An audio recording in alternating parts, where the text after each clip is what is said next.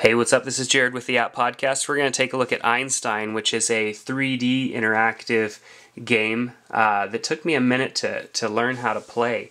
Um, so check this out. I'm going to walk you through it. Um, so let's just select uh, easy mode here. Um, yes, let's start new. So you get this grid that shows up um, that is interactive with your phone. So as you're moving as you move, the grid moves. You can see it moving. Um, okay, it made it much harder than the last time. So you have these balls that are attached to these little triangles here. And uh, so these other arrow triangles you can see will will direct the uh, the ball in a uh, typical direction. And when you can't move that direction anymore,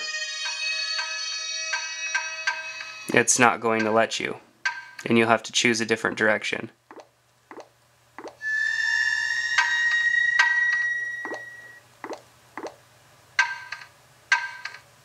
Come on.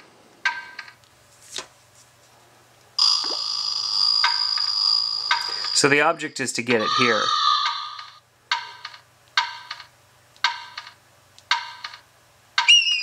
Alright, so I got that one, so now let's work on the other one. Now, if you're really good, you could probably um, you could probably get both of these going in the right direction at the same time. But I'm not uh, I'm not that good.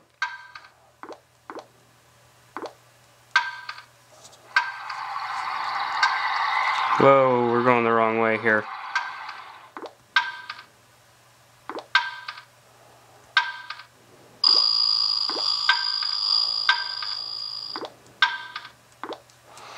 So it's it's challenging because the ball isn't always going to go where you want it to go.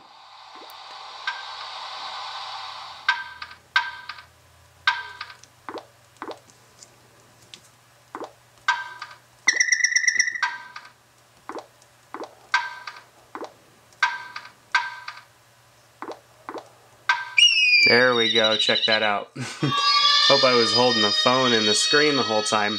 So the stages just get harder and harder each time. Um, I haven't noticed that there that this game is timed or anything like that.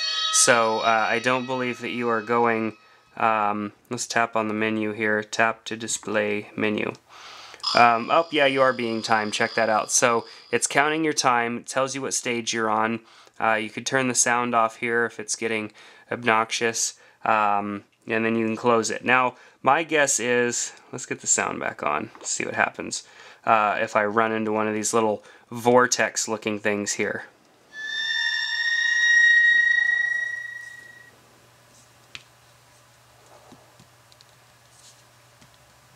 Oh, come on, go away. There we go.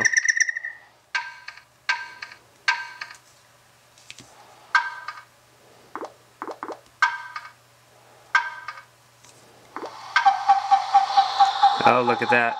It moves it.